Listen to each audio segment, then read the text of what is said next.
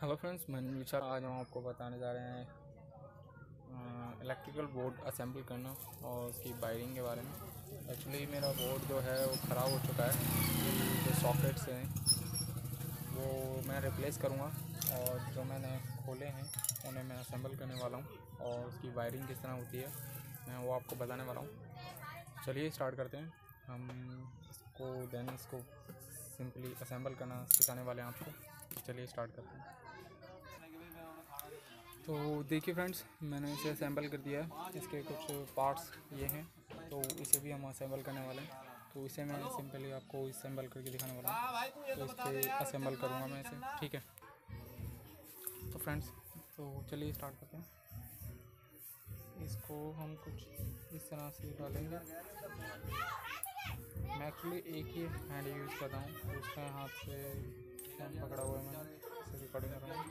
Okay, हमें ऐसे पकड़ना है। इसे हम टेढ़ा करके रख देंगे। फिर इसको हमें ऐसे रखना है। सिंपली, ओके तो हमें कुछ इस तरह बनाना है इसे, और इस तरह से इसके और पीछे की साइड आएँगे। फिर हमें इसको सिंपली एक मिनट। चलिए, इसे हम असेंबल करने वाले हैं। तो ये हमने असेंबल कर दिया अब इसको इसके ऊपर फिट करेंगे।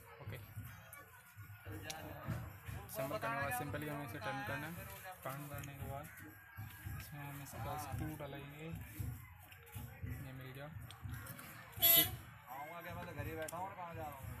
और इसको हम टाइट कर देंगे। ये दुकानों पे असेंबल किए हुए भी मिल जाते हैं लेकिन मैंने इसे सिंपली बस खोला और इसे साफ़ किया है। देख सकते हैं कि आगे का हिस्सा साफ़ है पीछे का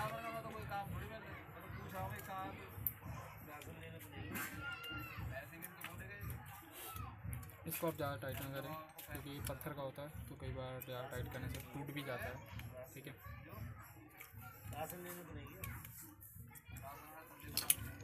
देखिए, इन दोनों संभल कर चुके हैं। सिंपली और ये हमारे न्यू चटकनियाँ है। तो इसके हमने जो वायर शॉर्ट्स हैं, जिससे हम इसकी वायरिंग करने वाले हैं अंदर से, वो हम करेंगे, ठीक है? तो अब हमें इसमें फिट करना है, बारी बारी से, ठीक है? तो इसे असेंबल करते हैं, फिर आपसे मिलते हैं, ओके? तो अब जैसे कि देख सकते हैं आप कि हम इसे आधे बोर्ड को असेंबल कर चुके हैं तो पूरा हमें इसके स्विच और लगाने, फिर हमारा बोर्ड आधा कंप्लीट हो जाएगा उसके बाद हमें इसकी वायरिंग करनी है। चलिए, फिर से तो बोर्ड हमारा असेंबल हो गया। अब इसकी हम अंदर से वायरिंग करेंगे। तो कुछ हमने वायरों को कट किया है। बाकी आप